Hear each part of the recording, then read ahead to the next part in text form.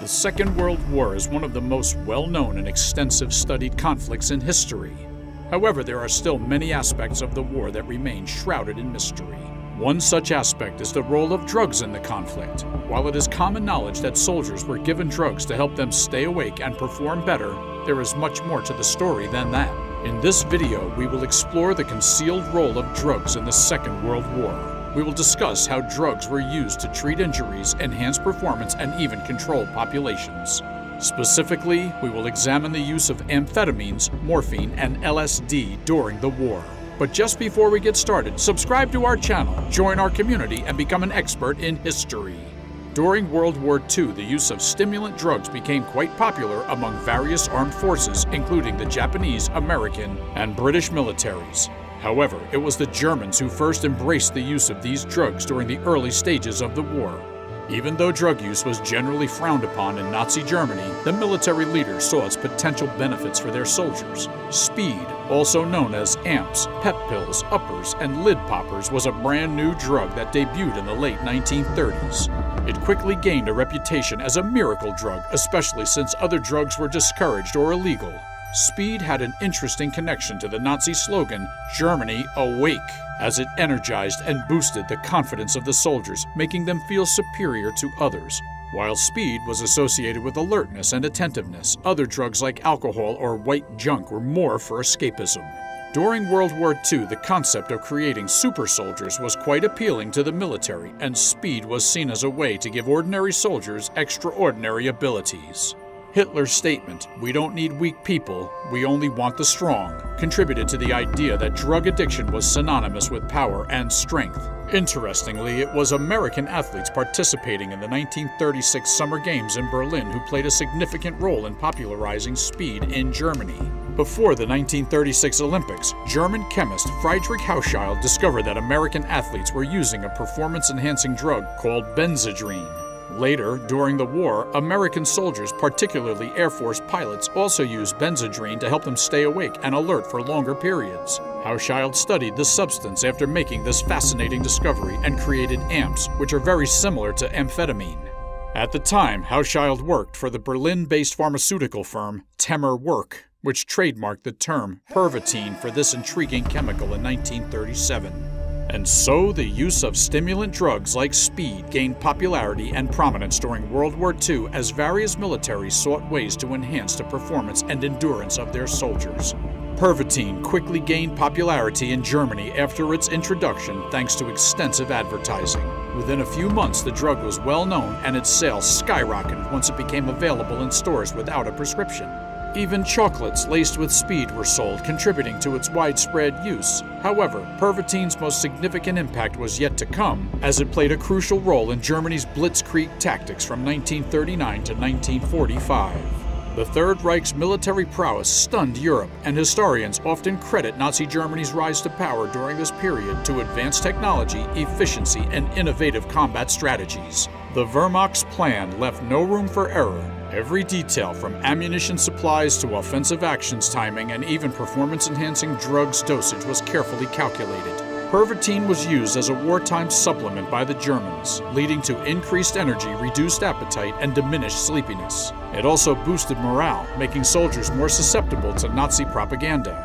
Pervitin was legally available and heavily advertised across Germany until 1941, with billboards all over Berlin promoting its use. Norman Ohler's book, Blitzed Drugs in Nazi Germany, claimed that the entire country was once addicted to speed. While it might seem amusing today, Pervitin was not initially intended as a military drug. It was designed to compete with Coca Cola, a popular American soft drink already enjoyed in Germany. Interestingly, it was Dr. Theodor Morell, Hitler's personal physician, who gave Pervitin to the dictator. The drug had been tested on students to study its effects on concentration and effort levels. Otto Ranke, a leading figure in general and defensive physiology at Berlin's Academy of Military Medicine, quickly recognized the drug's potential to improve German soldiers' performance on the front lines. As a result, Hitler mandated that his armies use Pervitin, further solidifying the drug's position in Nazi Germany's military plans. Otto Ranke saw the potential in Pervitin, but wasn't entirely sure if it could truly help him create a super army. To test its effectiveness, he ordered the drug to be mixed into field rations, allowing soldiers to consume it up to twice a day. Remarkably, the troops' behavior changed significantly after only a short time on Pervitin. They became fearless and euphoric, even in the face of extreme danger. Ranke's vision of chemically enhanced soldiers to overpower the enemy was now a reality. These energized soldiers could walk up to 60 kilometers and work non-stop for three days. This newfound endurance proved pivotal when the Germans invaded Poland in 1939, swiftly moved through the French Ardennes in 1940, and fought continuously for 11 days during the Balkan Campaign of 1941. As a result of his discovery's success, Ranke started taking Pervitin himself. He envisioned sitting alongside Hitler in the near future, helping to realize the Nazi dream of global dominance. As letters from that time reveal, Ranke and his office staff likely worked long hours under immense pressure and relied on prescription drugs to cope with the demands of their jobs. Pervitin's impact on military strategy was undeniably significant, enabling soldiers to push beyond their physical limits and, in turn, shaping the course of World War II. While Pervitin played a significant role in Hitler's Germany, it was inevitable that the drug would have negative consequences. Early reports indicated side effects such as fatigue, heart pain, and circulation problems. These findings, with the help of the Reich Health Fuhrer Leonardo Conti, eventually led to the restriction and ban of Pervitin in 1941. Despite warnings that the drug was no longer available without a prescription, many people disregarded the new regulations. Even though Hitler and the Nazi Party had been promoting anti drug propaganda since 1933, the rules were largely ignored. Germany had become dependent on Pervitin, and the sudden ban likely resulted in numerous people leaving the country. Ironically, Hitler himself struggled with addiction. At home, many believed that the prohibition was ineffective and did not diminish Germany's power. The military, too, was reliant on drugs and seemed indifferent to the ban and regulations, particularly since they provided immediate benefits to their operations. When rationing began in June of 1941, consumption skyrocketed due to the disastrous Operation Barbarossa, which lasted until December that year. The ban on Pervitin also had a darker side, potentially involving conspiracies. The widespread addiction to Pervitin among Germans might have placed excessive pressure on the drug's manufacturers. It's plausible that the fake prohibition was implemented to ensure more supplies were available for troops fighting the Red Army at home. As early as 1941, the Reich was aware of Pervitin's dangerous side effects and its potential to cause addiction, but its reliance on the drug persisted throughout the war. Despite the negative effects, amps continued to fuel the country while troops suffered heart attacks or committed suicide during psychotic episodes. The Blitzkrieg relied on constant movement from tank infantry regardless of the time of day. This strategy ultimately led to the fall of Denmark and Norway in 1940. In just one month, the Nazi army swiftly and effectively conquered Holland, Belgium, and France. When the Germans marched into France, the French defenses crumbled under the relentless attack despite having no reinforcements. In merely 11 days, German tanks traversed 240 miles of challenging terrain, including the forested Ardennes region.